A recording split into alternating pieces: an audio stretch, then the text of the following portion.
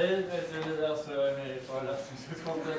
Eh, över till dagens seminarium då, med eh, vår gäst Jonas Sjöstedt. Eh, vi kommer prata om, som eh, titeln heter, eurokrisen. Ett tema som blir eh, mer och mer aktuellt. Eh, jag har inte så mycket mer att säga än så. Jag lämnar över till dagens gäst. Tack så mycket.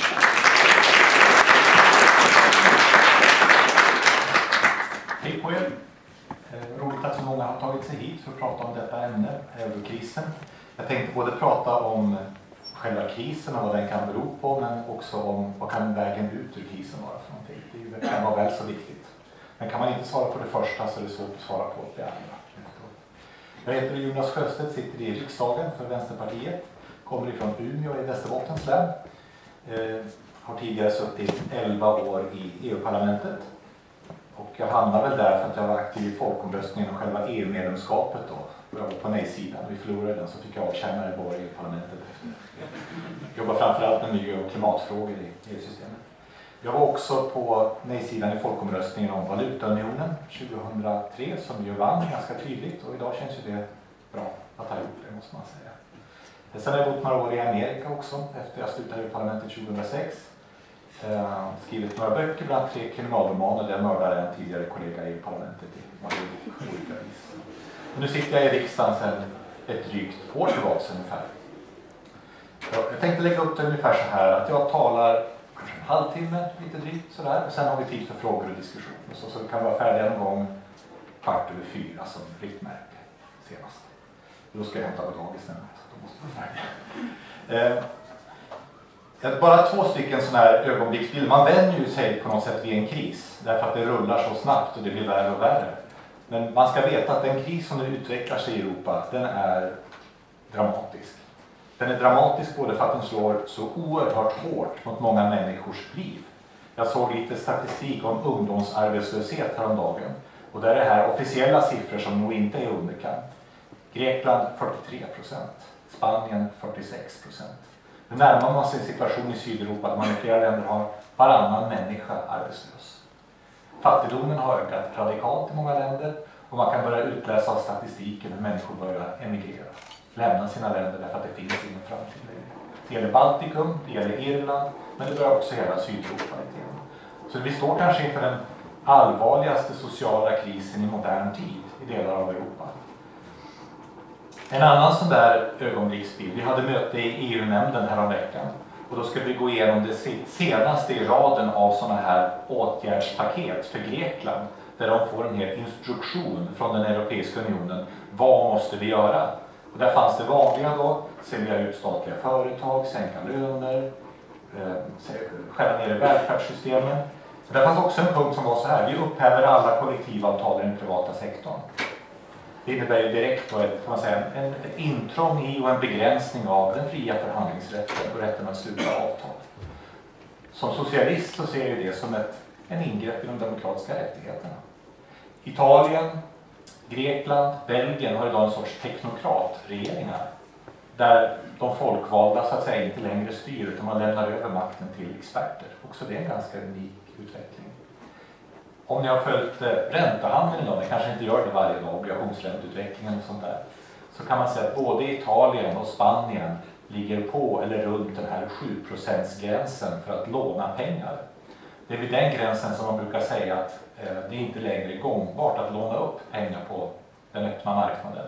Utan man måste gå in med en sorts räddningspaket från EUs sida för att klara finansieringen av statsfinanserna. Eh, och då är Italien och Spanien två av världens tio största ekonomier. Och det har EU inte råd med, att lösa ut dem som man har löst ut Portugal och Grekland. Det säger lite om hur farligt den här situationen är. Om det här utvecklar sig på ett grekiskt vis, så att säga, i flera länder, då kommer också den här krisen ganska snart att bli en bankkris. Därför att bankerna bygger mycket av sina tillgångar på innehav av statsobligationer. Inte minst det italienska banksystemet gör Italien har världens tredje största statsskuld. Faller bankerna, då får det enorma återverkningar i ekonomin. Och det kan ganska snabbt påverka, vi påverkas ju redan av det här i Sverige. Så jag tycker man ska ta den här krisen på liksom stort allvar. Och det är enormt viktigt att vänstern kan ge ett svar. både ett svar som fungerar och som är trovärdigt men också som är radikalt nog att lösa de bakomliggande, underliggande problemen. När man beskriver den här ekonomiska krisen så brukar man ju beskriva den på olika sätt. Om man lyssnar på vår regering till exempel så beskriver man det som en skuldkris, det som nu sker i Europa. Att man kan försöka förklara krisen med att man har haft för hög statsskuld, Italien 120 procent, det är för högt, det måste man ju säga. Eller att man har okontrollerade budgetunderskott, årliga budgetunderskott som Grekland. Ja, de har haft dåliga ordning på statsfinanserna, det kan ingen förneka att det har varit på det sättet. Det finns ju en, en, något väldigt bekvämt med att förklara krisen på det sättet. Därför att då handlar det bara om att skära ner. Skär man ner tillräckligt mycket, och man kan lägga över ansvaret på att de, det är vällustiga grekiska förskollärare som har vältrat sig i höga löner och generösa pensionsvillkor och sånt där som är orsaken till det här. Ja, då är ju lösningen ganska uppenbar. Skär ner, så löser man det här. Problemet med den förklaringen är att den är delvis sann. Det är alldeles sant att ha ett, en statsskuld på 120 procent, det är inte hållbart. Det är inte det längre. Inte för något land. Det är inte vänsterpolitik att ha en statsskuld på 120 procent. Eh, och ha stora budgetunderskott, ja det är klart att det är ett problem för trovärdigheten i ett land man har det år efter år. Men man kan inte förklara krisen bara med det här. Dels därför att många länder som har haft ganska låg eller jämförelsevis låg statsskuld och budgetunderskott är också hårt drabbade av krisen. Spanien och Irland hade väldigt bra siffror för några år sedan men är två av de länder som är absolut värst drabbade av den här krisen. Alltså fungerar inte den här förklaringsmodellen. Japan har ett, budgetunderskott, eller ett statsskuld på 200 procent. Det är värre än Grekland. Men de är inte indragna i det här. Va? USA har mycket större budgetunderskott än vad Spanien har. Men de är inte indragna. Alltså är det så att det här räcker inte som förklaringsmodell till krisen att det bara är en skuldkris. Och det ser väldigt olika ut i olika länder. I några länder kan man förklara det här delvis med skuldsättning. Men i många länder kan man faktiskt inte göra det. Hur ska man då förklara det då? Man kan inte förneka att skuldsättning spelar roll. Sverige som har plus i statsbudgeten och eh, bland Europas lägsta statsskulder är relativt skyddad av det, i alla fall i det här läget. Då, va? Men krisen beror på någonting mer. Det är också en, en bank och finanskris. Bank och finanskris. Det finns alltså stora, stora förluster i den finansiella sektorn som har orsakat den här krisen i många länder. Det kanske mest tydliga exemplet i euroområdet, det är Irland. Irland eh, har haft ganska goda makroekonomiska siffror bara för något år sedan, men åkte ju blixtsnabbt ner i krisen. Det berodde egentligen enbart, kan man säga, i huvudsak på att de irländska bankerna gjorde jätteförluster. Och det man hade gjort där var att blåst upp liksom en kreditbubbla av spekulation. Ett vanligt enkelt hus på Irland, i Dublin, kunde kosta 7 miljoner kronor. Och människor tjänar mindre än i Sverige ofta. Men eh, priserna steg, alla spekulerade, alla gick in, tog jättelika lån och plötsligt så går bubblan ner. Och då är det ju bankernas utlåning. Om bankerna dessutom har handlat med massa finansiella instrument, kreditsvappar och derivat och allt vad det heter för någonting och förlorar massa pengar. Då står man plötsligt där. Men bankerna får inte falla. Då är man rädd att hela samhällsekonomin går omkull. Så det var bara för irländarna att casha upp. Gå in med pengar, sänka pensionerna, sälj, privatisera saker, sänka lönerna, allt vad man har gjort för någonting för att rädda banksystemet. Och faktum är att banksystemen svajar i Spanien och svajar i Italien. I Portugal har man fått gå in med stödpaket och många andra länder också. Om man tittar lite utanför euroområdet så är Island typexempel på en ren bankkris. Där hade man haft en banksektor med fullständig hybris, en högerregering som hade avreglerat allt man kunde peka på och banksektorn hade växt till 11 gånger landets BNP i omslutning. Och sen när bankkrisen kommer, då blir samhällsekonomin liksom helt kaputt. Island är intressant, inte bara för att man har en vänsterpartist som finansminister, utan därför att det är det land som bäst har klarat att komma ut ur krisen, att vara på väg ute. Och det har man varit, bland annat har man varit väldigt tuff mot bankerna. Man låtit dem gå i konkurs, låtit fordringsägarna betala, skyddat småspararna, vanligt folk istället. Men det går inte att begripa den här krisen utan att ta in att det också är en bank och finanskris. Att det handlar om ett finansiellt kapital som till större delen inte längre sysslar med in och utlåning utan finansiell handel och stort risktagande. Hela krisen 2008 som ju började i USA med Lehman Brothers-konkursen var ju en utpräglad bank och finanskris. Och det är klart, det är bekvämt att säga att det är offentliga utgifter som är felet. Men faktum är att det är mycket mer sammansatt än på det viset. Men det räcker inte heller som förklaring utan det är också en eurokris menar jag. Det finns en orsak till att just euroländerna drabbas så enormt hårt som de görs av, av den här ekonomiska krisen. Och, ni känner säkert till den stora politiska tänkaren Ronny Eriksson från Piteå.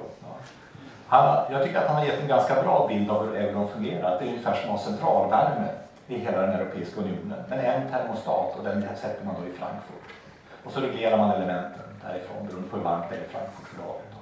Och det funkar säkert bra i Tyskland. Tyskland är den största ekonomin i euroområdet. Men det blir ju stora problem i Grekland och i Finland och på andra ställen också. Så kan man säga att det fungerar med en gemensam penningpolitik som ju euron innebär. En ränta, en växelkurs så att säga då för alla.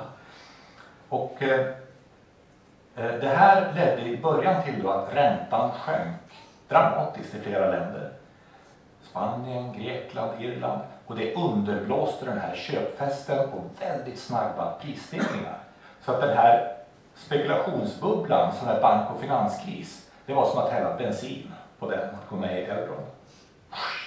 Så bara liksom ökar det här.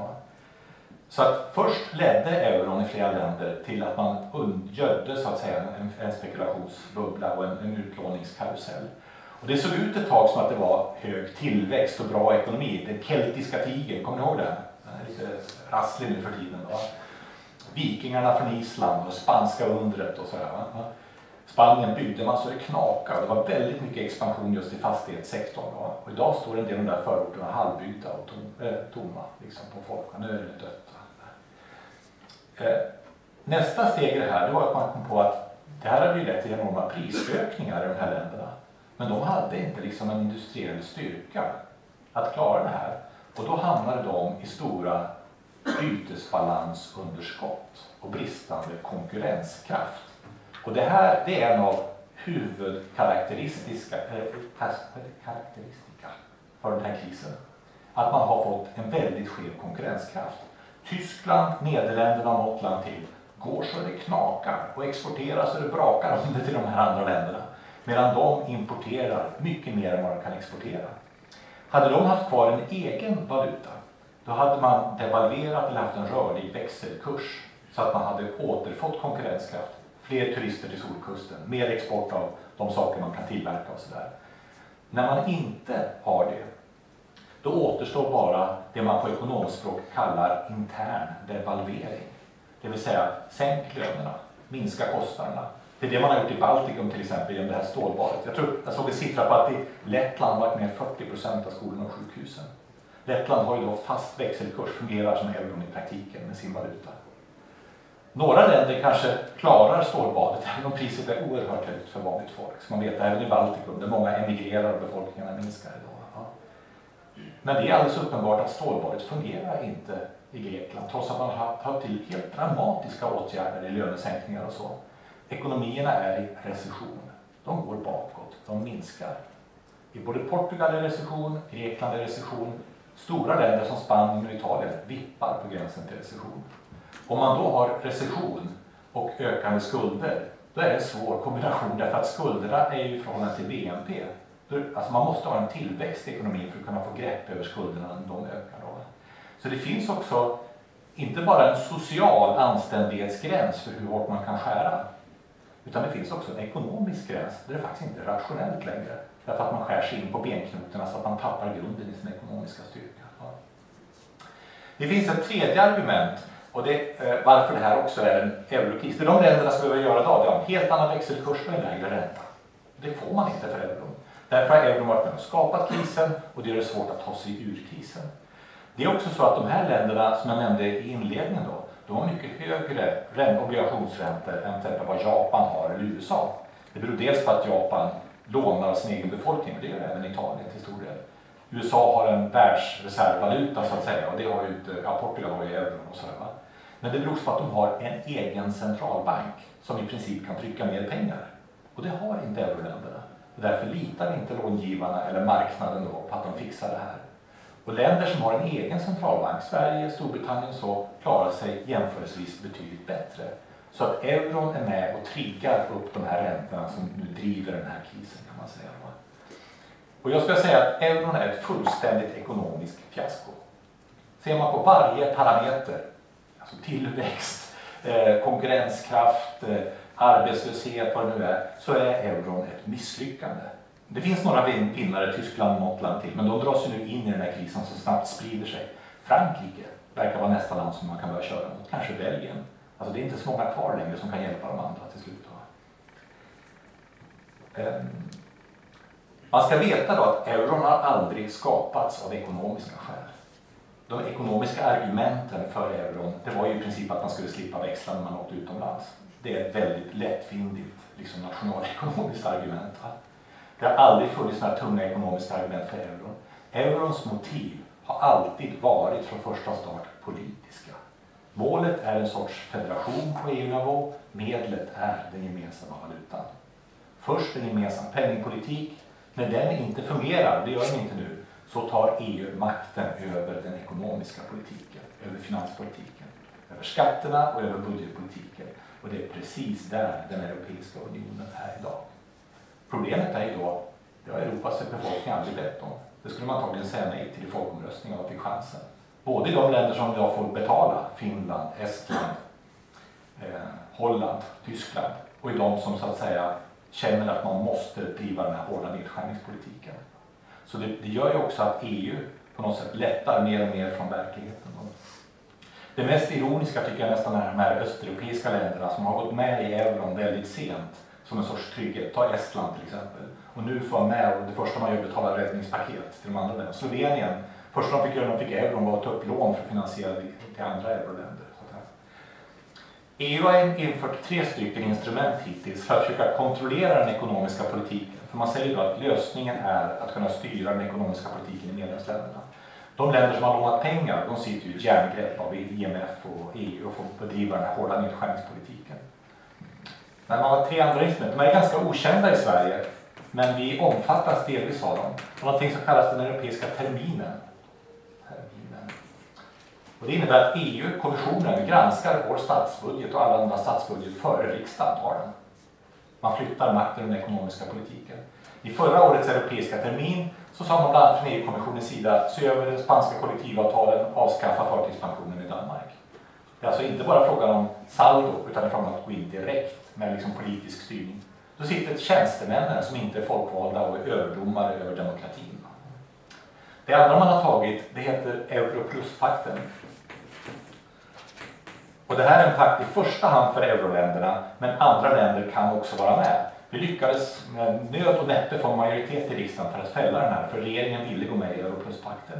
Och det här handlade om att styra makroekonomin ännu mer i detalj så att säga. Det finns en logik i att euroländerna gör detta om euron ska överleva, varför nu ska göra det. Ja. Eh, men det är klart att vi har röstat nej i en folkomröstning till en gemensam ekonomisk politik och det här är just det kan man säga. Det tredje man tog eh, bara för någon månad sedan, det är sex lagstiftningsakter om ekonomisk styrning. Det blir lite förkortningar. Ekstyr kan jag skriva här. Och det här handlar då om att man ska försöka styra den här stabilitetspakten med böter och straff för de som inte sköter sig. Att man ska bli ännu hårdare och ännu snabbare på att bötfälla. Problemet är nu att i stort sett varenda euroland ska bötfällas. Det finns inte ett land som inte åker på böter. Och på något sätt så ska de som inte klarar av att betala får betala lite till och frågan är vad det hjälper i slutändan. Även Sverige omfattar de här sex lagstiftningsakterna om ekonomisk styrning och det mest känsliga för Sverige det är nog den lagstiftningsakt som handlar om makroekonomiska obalanser. För den räknar inte bara då bytesbalansunderskott utan även överskott och det har vi ju i Sverige hela tiden. Så plötsligt Anders Borg kom på att oj, vi måste minska vårt bytesbalansunderskott. Det var inte riktigt vad vi hade tänkt att göra med de här sakerna. Det här är ett tecken på att EU som svar på krisen försöker ta makten över den ekonomiska politiken.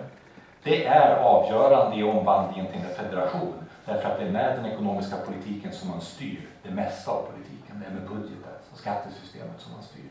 Därför är det en stor politisk förändring som man försöker göra. Jag, jag, är rädd för att det där kommer bli ett oerhört bakslag när folk väl inser vart makten har flyttat och hur snabbt det har gått. Va? På det sättet. För att hantera krisen så har man också byggt upp en krisfond. De börjar bli kända. Mest kända heter EFSF.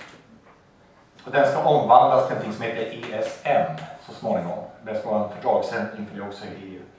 Det här är då den här fonden som har ihop med IMF framförallt lånat ut pengar till Grekland och Irland och Portugal. Problemet med den här är att pengarna börjar ta slut. Och EFSF har inte så mycket egna pengar utan de lånar upp pengar på marknaden för att hantera det här. Och saken är att de har bestämt att EFSF ska öka till 1000 miljarder euro. Svindlande summa.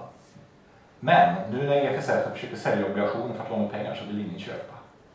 Och det är att kommer det mer smällar så att säga i de stora länderna så är frågan har EU några pengar? Nej, inte som det ser ut just nu i alla fall. Då använder man kanske istället ECB, Europeiska centralbanken, som sedan ett år tillbaks massivt går in och köper statsobligationer från krisländerna och har kortfristig utlåning till bankerna. ECB lånar ut så här kortutlåning på 1% ränta till storbankerna i EU och de tackar genom att, för att låna ut mycket dyrare till staterna. Alltså, och det är typiskt för hela eurokrisens politik menar jag att hela politiken går ut på att rädda euron, rädda bankerna men offra vanligt folk. Vinsterna de är privata så länge bankerna klarar sig. Till de går med förlust då blir de offentliga. Då för man över dem till det offentliga istället. Och jag menar att det är en helt ohållbar politik. Om banksystemet inte lär sig att man får ta förluster när man gör dem, då kommer de fortsätta sitt riskbeteende. Då är frågan, det ser ju inte så, det ser inte riktigt bra ut om man säger så det här. Då. Vad gör man åt det här? Ja, skuldnivåerna så är det så att det är en stor fördel att ha låga budgetunderskott och låg statsskuld. Och därför tycker jag också det är viktigt även för vänstern att säga det att när vi vill ha en mer offensiv ekonomisk politik och en bra välfärd, då måste det finansieras. Man måste visa att man har ett skattesystem som klarar av att bära det långsiktigt. Ja. Över konjunkturcykeln ska statens skuld inte öka.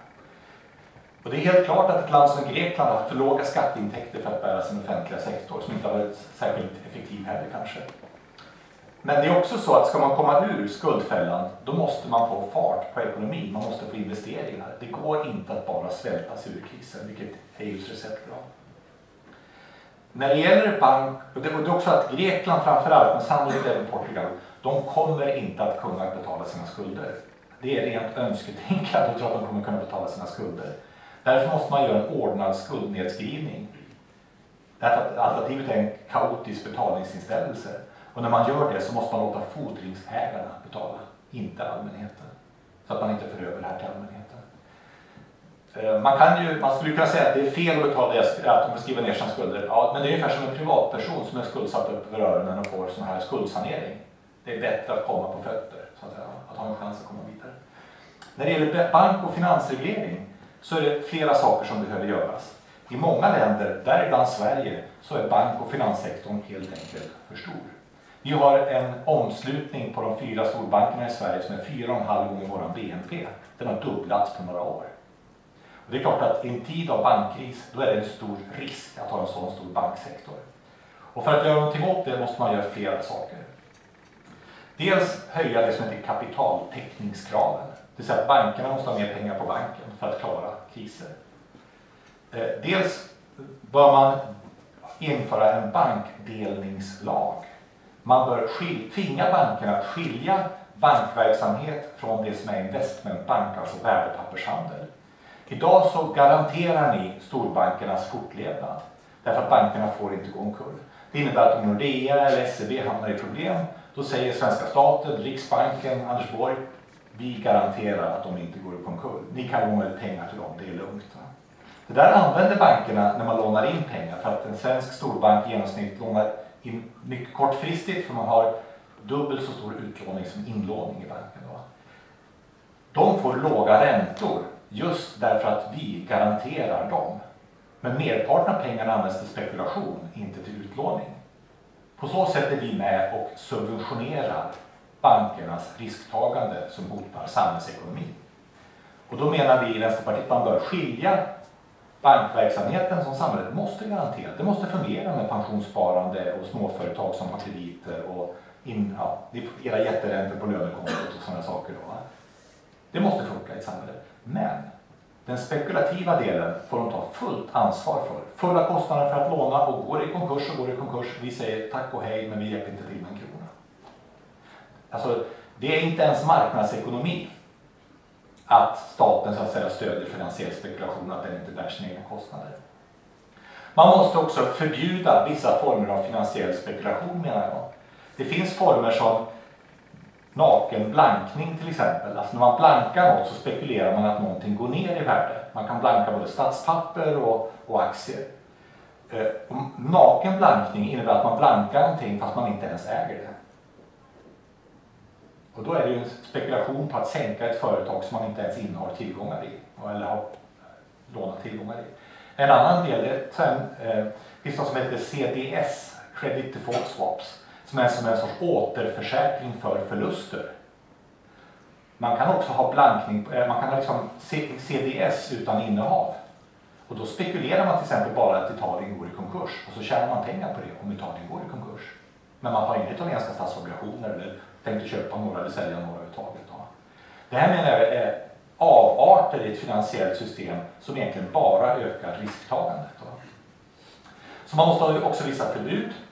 Och vi menar också, jag kommer inte gå igenom allt i detalj, men att man borde ha en skatt på finansiella transaktioner. När man handlar med derivat, när man handlar med optioner och sådana saker, aktier, en liten skatt på köp och sälj. Det gör att de här spekulativa, kortsiktiga handeln inte blir så omfattande utan blir långsiktiga placeringar. Det handlar om promillen på värdet som man lägger i skatt. EU-kommissionen har lagt ett sådant förslag.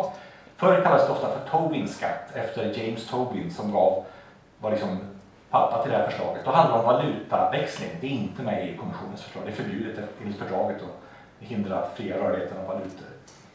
Men ett sådant förslag finns från EU-kommissionen. Jag menar att det är klokt. Däremot ska pengarna inte gå till EU för de slarvar bara bort dem som de har föreslagit till medlemsländerna. Och vill man så går det naturligtvis att reglera en sån här finanssektor på det sättet. Det handlar enbart om att ta rätt politiska beslut. En sån här bankdelningslag har funnits i USA i flera årtionden, kallas för Glass-Steagall Act. Avskaffades för något årtionde sedan under Clintons tid och var en del av att spekulationen ökade senare. Men då måste man våga ta de här besluten som tar ner finansmarknaden och som gör att den börjar... Skulle det leda till att kapital istället söker sig till produktiva investeringar så är ju det bara desto bättre så att säga. När det gäller euron, ja vad gör man med euron? Om det är så att valutan i sig skapar kris, förstärker kris eller svårare att ta ut det, ta ut det. då menar jag att det enda rimliga att göra med euron, det är att avskaffa den. Att göra det möjligt att lämna euroområdet och återinföra nationell valuta. Man kan tycka att det är dramatiskt, krångligt, besvärligt. Ja, men vad är det vi ser idag då? Är inte det dramatiskt och krångligt och besvärligt för de här miljoner människorna? Och det är inte första gången i historien där det händer. Argentina försökte i praktiken införa amerikansk dollar, gav upp 2001, ställde in betalningarna, gick tillbaka till peson. Sedan dess har den argentinska ekonomin gått ganska bra. Island som är ett litet land, men ett intressant land på många sätt, har klarat sig ur krisen mycket tack vare att man har en rörlig växelkurs. Det har varit avgörande för att Island har kunnat komma tillbaks, som man har lyckats göra. Valutaunioner har upplösts förut, Tjeckoslovakien, Jugoslavien, andra ställen också. Och jag menar att det är EUs prestige idag som hindrar, och politiska skäl om att man vill ha centraliserad makt, att man återinför nationella valutor. Men idag börjar detta diskuteras på allvar i länder som Tyskland. Och jag menar att det är helt naturligt att man gör det. Varför gå igenom de här som stålbaden av nedskärningar och fastna i de djupa, djupa ekonomiska kriserna för en valutas skull? Vad är det för mening? Och därför menar jag att man måste våga ifrågasätta här. Det, det avskyr man inom EU därför att det vore då lite av slutet på tanken på Europas förenta stater. Ja men vilken bonus, då slipper vi det också. Så jag tycker att det är bara ytterligare ett skäl till att applådera det. Att man kan ha. I grunden är det onaturligt att ha en valutaunion i länder som har helt olika ekonomiska förutsättningar. Olika inflation, olika produktivitet, olika utveckling. Det är inte ens en fråga om vänster och höger. Det är en fråga om ren realekonomi och att eh, försöka förstå hur det fungerar. Och jag tycker att lite grann så har de som försvarar euron, det är väl Carl B Hamilton och Jan Björklund och två till så här i Sverige. De har blivit vår tids marxist-leninister. De säger liksom att teorin är rätt, vi kör på. Det spelar ingen roll att det inte funkar, huset brinner, sa han. Teorin är rätt. Det, det har väl inte ekonomin att göra så. Ehm, för Sveriges del så menar jag att vi står ju hyggligt rustade inför den mycket djupa kris som antagligen närmar sig nu. Vi har en låg skuldsättning, god kontroll på finanserna. De kommer att bli sämre om krisen kommer. Det kommer som ett brev på posten. Det är naturligt att man lånar pengar i en lågkonjunktur och betalar av i en högkonjunktur. Vi har ännu inte stora förluster i den svenska banksektorn, men det var svindlande nära när Baltikumkrisen var som värst att storbankerna var på väg omkull i Sverige. Det var frågan om någon dag eller timmar eller sådär att det hände. Och det gäller att snabbt skärpa upp regelverket för storbankerna så att de blir mindre utsatta för det här. Vi står fria från euron och jag menar att med respekt för folkomröstningen så ska vi också stå fria från den överstatliga styrningen av ekonomiska politiken. Alltså att utse EU-kommissionen till förvaltare av den ekonomiska politiken, det är som att utse en pyroman till brandchef. Det är oklokt att göra. Ehm, bara som en liten historia, att när EU för ett tag sedan skulle reglera finansmarknaden efter Lehman i samband med den första krisen då utsåg man en grupp som leddes av den tidigare chefen för lobbyorganisationen för finansbolagen. Och i den där gruppen satt någon från Goldman Sachs och någon från Lehman Brothers, mycket om konkurs under tiden. Och någon från BNP Paribas, som är de här franska storbankerna som är på fallrepet. De skulle liksom reglera finansmarknaden på EU-nivå. Det säger någonting om vem som styrde där så att säga. Sen tycker jag också att det är viktigt att hävda att trots att den här ekonomiska krisen är så djup så måste EU ta sociala hänsyn. Man måste skydda de som har sämst läge så att man inte får en fullständig social katastrof i många länder. Det är outhärdligt att se vad som händer med vanligt folk i de här länderna nu. Och man måste också, samtidigt som man har en konkret plan för att få statsfinanser i, i, i balans, också ge stimulans till ekonomin. Inte minst så är det nu vi ska inleda klimatomställningen och investera bort utsläppen av växthusgaser, och bygga om våra ekonomier till inte bara ekonomisk utan också klimatmässig hållbarhet. Avslutningsvis då, jag menar att den här krisen det är ju en ekonomisk kris och en social kris. Men det är också en politisk kris för två dogmer som har styrt mycket av den ekonomiska politiken. Dels övertron på euron och den ekonomiska politik som är grunden för euron. Den har misslyckats fullständigt. Ehm, dels övertron på att en avreglerad finansmarknad är sund och sköter sig själv. Det är också en katastrofal teori. Och det är dags att överge de två teorierna i politiska livet för de har kraschat som en bil mot en bergvägg. Tack ska ni ha.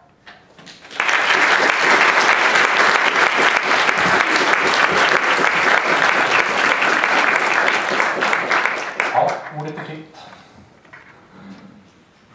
Varsågod. Ja, den som kan prata med eh, de sex lagstiftningsakterna mm. eh, så pratade om eh, då att vi kunde ha överskott och det var fel enligt dem? förstår inte. Jo, alltså en av dels handlar det om budgetunderskott och överskott. Och där är det så att det är de länder som har euron och har underskott som bötfälls. Men en av lagstiftningsakterna handlar om makroekonomiska obalanser och där handlar det också om bytesbalans och konkurrenskraft. Och där är det så att man inte bara sanktionerar och försöker komma med pekpinn åt de länder som har bytesbalansunderskott utan även åt de länder som har bytesbalansöverskott. Tyskland, Sverige, Nederländerna. Och Sverige har ju varje år ett betydande, vi, har ju, exporterar mycket mer än vi importerar, vi har ett bytesbalansöverskott. Och det överstiger de gränser som man får ha. Och det, det tror jag man har insett ganska sent i regeringen. Hoppsan, nu kommer ju EU och säger till oss att ni måste vidta åtgärder för att sänka det här överskottet. Varför gör de det? Det finns en sorts logik i det då, och det är ju att vårt överskott är någon annans underskott. Men det är en större logik i det om man har gemensam valuta. Därför att, men vi har ju en rörlig växelkurs. Så egentligen borde kronan stiga i värde, men det gör den inte riktigt som den borde göra kanske. Va? För, ja, vilket ändrar en del jobb å andra sidan. Och det, jag tycker också att det är ganska ologiskt. Man, det finns olika sätt att göra det. Man kan höja lönerna kraftigt till exempel, så man sänker konkurrenskraften. Jag tror inte det man kommer föreslå från regeringens sida. Varsågod. Eh, alltså, jag har förstått det rätt. Ansluter du dig till Barrosos förslag på skatt Ja, alltså inte i varje detalj, men i huvudsak gör jag det. Det jag vänder mig emot i Barrosos förslag, det är att man då vill att skattepengarna ska gå till EU. Och det, och det är detsamma som att ge EU beskattningsrätt, och det är inte jag beredd att göra. Bara det? det ja, i huvudsak tycker jag det är bra annars. Det där får vi prova en variant på i Sverige. Ja, ja, just det. Jag menar att det exemplet i huvudsak är relevant. Därför att det handlar om 27 länder, inte ett, och tröskelvärdena är mycket lägre än för valpskatten. Ja, fast det bygger på att det var ett land som gjorde det med högre tröskelvärden. Jag tycker att man, eh, de som är emot en transaktionsskatt gör det alldeles för enkelt när man avfärdar det genom det exemplet. Så, så, så ser jag på det. Ja, ja, eller också är det så att fler länder kommer att hänga på det. Ta en sån sak som robothandeln på börsen. Ja, Och, och samtidigt? Visst, Det är bara så det funkar ja visst, man måste försöka. Va? Och, och sen menar jag, en sån sak som robothandeln på börsen, den skulle ju upphöra direkt. Det är ju sunt att den upphör. Ja. Eh, varsågod. Har EU någon framtid överhuvudtaget med, med sitt nuvarande oreviderade sätt med tanke på att Frankrike fortfarande tar ut väldigt, väldigt höga bidrag från EU samtidigt som resten, stora delar av EU går omkull. Och Frankrike och, eh, Frankrike och Tysklands ledare sitter och beter sig som om EU är en leklåda, en Mm. sandlåda och kastar spadar på varandra. Ja, alltså Frankrike och Tyskland har ju en särställning i EU. Inför varje sånt där viktigt toppmöte så träffas Merkel och Sarkozy. Och det är väl den här principen som Orwell stod fast i djurfarmen, va? att alla är lika men några är mer lika än andra. Det är liksom huvudprincipen i EU. Eh, Man ska veta att Frankrike är riktigt illa ute. Frankrike, deras banksystem är fullt av italienska, och grekiska och spanska statspapper. Och smäller det till de här länderna så är Frankrike ett av de länder som kommer att ha problem. Eh, och Frankrike är redan då på gränsen till att bli nedklassat av det här ratinginstitutet, vilket gör att man får dyrare, dyrare lån. Någonting jag inte nämnde var att EU är på väg att föreslå en sorts bankakut på EU-nivå, där också Sverige har sagt sig vara beredd att betala, vilket jag tycker är en dålig idé. Ett huvudskäl till det är att Frankrike inte vill bli nedgraderat av ratinginstituten. Jag tror att EU måste göras om i grunden. Alltså man måste bli mer demokratiskt, ge upp planerna på superstat, kunna montera ner valutaunionen om EU ska ha liksom någon fungerande framtid. Har du en följdfråga? Eh, ja, hur kommer den brittiska ekonomin att påverka? För Storbritannien håller sig ändå relativt stabila genom det här. Och Frankrike och Storbritannien håller ju på och kämpar sig kvar vid sin forna, någon form av imperialistisk